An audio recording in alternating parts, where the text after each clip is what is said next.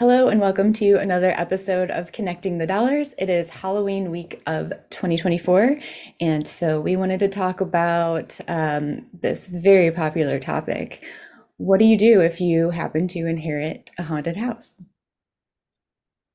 What do you Yes, think? I think um, there's so many different ways to answer that. First of all, I would not spend the night in it. That's my first Same. hot tip. Um, I do have a friend who loves Halloween, and I think she would definitely spend the night in it. Um, so I'll say that's, you know, personal choice of what you're up for. Um, but I do think that's one of the scariest things in Halloween movies, right, Emily? hmm Um, the house is always like a central thing, right? From The Shining to Poltergeist to Yep, I don't know. Those are classics, but even more, I'm not as good at more recent movies, but me um, either. But like The right. Conjuring, the House on Yeah, Haunted Hill, all those things.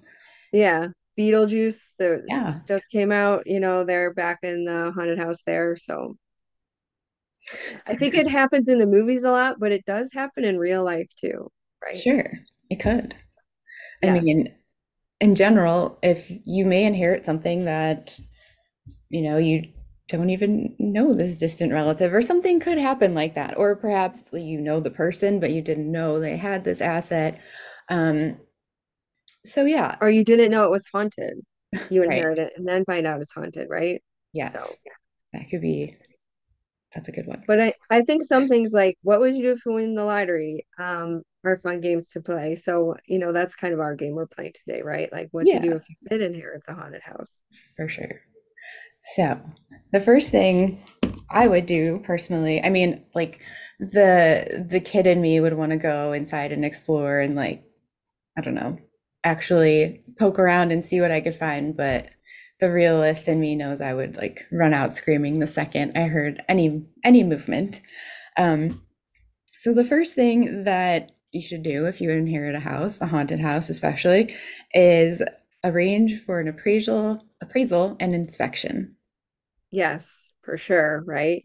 Yeah, maybe that house is abandoned. It's been, you know, just in this field, dis uh, deteriorating for several years. So you got to find out if it's safe and then, you know, if how much it's worth so you can decide what the next step should be. Yeah. Um, I think finding out the worth of the of the asset when you inherit it is also important for tax reasons, right? Because when we uh the current under current law, when you inherit a property uh or an asset, the value it becomes the what's called the cost basis, the amount it's worth, resets on the date of inheritance. So if say your grandparent bought the house for $15,000, but you inherit it and it's now worth $300,000. So that's the value you go by for tax reasons. It's now worth $300,000 in your portfolio. Right. So the date of the of the death becomes your cost basis. Yeah. Um, yeah. So in general, also based on that information, if you find out it is inhabitable or not, um, is it a good investment for you? Like, is it something that you want to turn into an Airbnb or um, potentially have it be part of your, you know, a vacation home, maybe under your primary part of your primary residence? Um, Mm-hmm. but either Or way, sell it. Yeah. yeah, or you might want to sell it. But either way, while you're making that decision, it is important that you are insured enough that you have the pro- proper liability insurance. Yeah, right. Because you can go from having minimal to a small amount of net worth. You, if this property is especially valuable, all of a sudden your net worth goes up by a lot. And if you're sued, you can be sued for a lot more money than you were in the past, right? There's nothing like getting a lot of money just to instantly lose it by um, something unfortunate happening, Right. right? Um, maybe that's like the real horror part of some of these things, um, getting sued by somebody. Um, yeah, so I think, you know, if you inherit the property and say uh, a relative had it insured, that doesn't necessarily the the insurance isn't going to transfer, right? Right. So you have to make sure you got your own insurance coverage, um, not just for the the property, but also make sure that includes a liability coverage, Right. especially if it's been, if you're not living there, if you're not there to keep it up, to make sure it's safe, um, all those things. Right. Once you become the owner, it becomes your problem. Yeah, it's not just an asset, right? It can also be a big problem. And that, like, just being liable for somebody getting injured on your property, um, hmm also becomes your problem, right? So, Yes.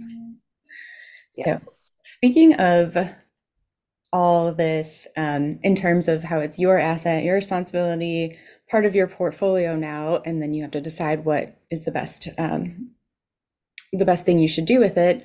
Um, what if your spouse inherits a property? Like, how would that affect you? Yeah. Well, that's um I think that's one of the most could be one of the most complicated questions um because it really depends on different laws that are in place in your state uh, in terms of m marital laws, right? So hmm for most places, if you inherit a property when you're married, that property stays in the individual's name. It does not become marital property. Um, so once that happens, the decision about how to handle that property could impact your spouse, um, but not necessarily, right? It really, really depends. So, say if you have a marital, uh, you inherit a house and then you decide to rent it out to a tenant, and then you're getting income from that tenant, that income could become marital property, Right. right? Even though the underlying house might not be marital property. Right. So, um, if you're not the spouse who inherits the house, but the spouse, the other spouse, right? You might be cons- want to look out for your interests in this case, right? Or the hmm person who inherited the house might want to look out for their own interests. Um, and I think this happens to married couples, right? If they get married and they have one financial situation, and then something happens during their lives and the financial situation changes significantly, such as inheriting a house, whether it's haunted or not, um, you might need to have, you know, in-depth conversations with your Right. spouse. Right. Um, that can be tricky for anybody to discuss money with their Sure. partner. Um, but you know, this might be also the time when you need to consult with an attorney on potentially getting a post-nup agreement in place. A post-nup is, you know, a financial, like a lot of people have heard of prenup, like before you're married. You Mhm. can also do a post-nup after you're married that would govern these financial situations. Yeah. Um, Yeah. It becomes part two, right, is also talking to your estate attorney, right? Because this is going to impact your estate and eventually your the will that you hopefully already have in place that might need updating.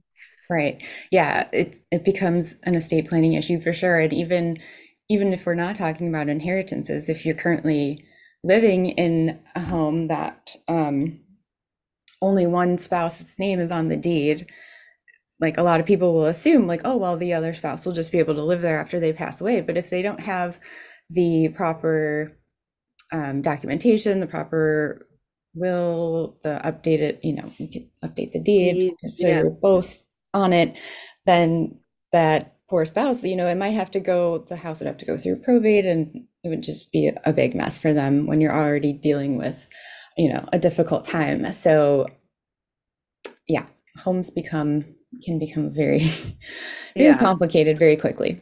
yes. And I do think one of the issues that a lot of people make certain assumptions about how things work, and the assumptions could be wrong, they could be partially correct, but a lot of time, or maybe it was correct in your parents' day and the law Right. has changed. Maybe it was correct in the state you grew up in, but you're now in a new state that has a different law. Um, these things aren't necessarily things that are common sense or even make sense. Um, and that's why we say you need to understand, you know, the law, talk to a lawyer Yes. about how it could impact you. Yes. So in the example of The Shining, Oh yes, my that's my favorite movie, so I won't talk about The Shining too. I haven't seen it in a while, but Yeah. um, Jack's wife probably should have checked out what was going on with the deed. You know, maybe she could have, I don't know, figured something out, made some other choices. Yeah, well, Not as right. So, uh, yeah, so if we're assuming that people have seen The Shining, right? Jack is the character is played by Jack Nicholson, who's the caretaker, and the wife in the movie version at least does all the work, right? Even though Jack is the one that's technically hired. Um, right. so there's so many marital, spousal issues with finances that come up in that movie, which I feel like kind of ruins the movie to talk about that kind of stuff about it. But there are there are a lot of lessons there, right? Um, Yes, I agree. um, but in that one, it's not really clear, right? If Right. Jack was hired there or if he already maybe lived there and was haunting it, right? Um, if you've seen the movie, there's I don't know, there's different questions about who he really was, right? But Right. Just, um, yeah, looking at it on the surface level, let's say he owned the property, then when he was no longer, how did it happen? He became like part of the house. Yeah, maybe he froze. Maybe he froze. In any Yeah, case, what does Wendy do with yeah, this building now? right. I don't know. Hopefully they she had a good life insurance policy in place. At the very least. Um, to cover her and the, you know, when you're still in your working years, that's a good time to get a life insurance policy in place. Because if you lose a spouse abruptly, I mean, even though she was the one doing all the work, right? True. He was the one getting paid. So she's losing her job and maybe losing her house too if she was living at the hotel. Not that she would want to keep living there necessarily, but um, Yeah, she's lost her means of income, her yeah. essentially where she was living. Yeah, so I think that there's a lot of things, right? People will assume, oh, like the wife, she's better now because she's away from that situation, but um she'll have a lot of financial issues going forward, right? It's true. Um When art, uh, entertainment becomes reality, right? yeah, yeah.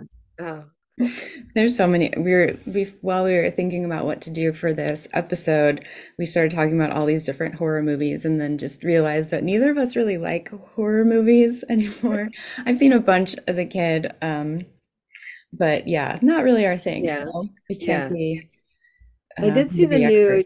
Beetlejuice movie that came out recently, but I don't, I don't think it was that it's really a horror movie, right? It's just kind Yeah, of silly. it's just kind of fun. Um, Mhm. but yeah, that's I Also, lots of haunted, some haunted houses in that movie, right? Yes, there are. Mhm.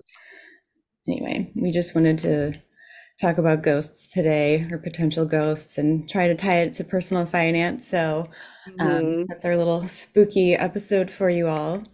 Yeah, will. Um, oh, I was just going to add there was Yeah. an article in the New York Times recently, a week or so ago, about how to sell a haunted house that has some more logistics in terms of real estate brokers, how they position the house.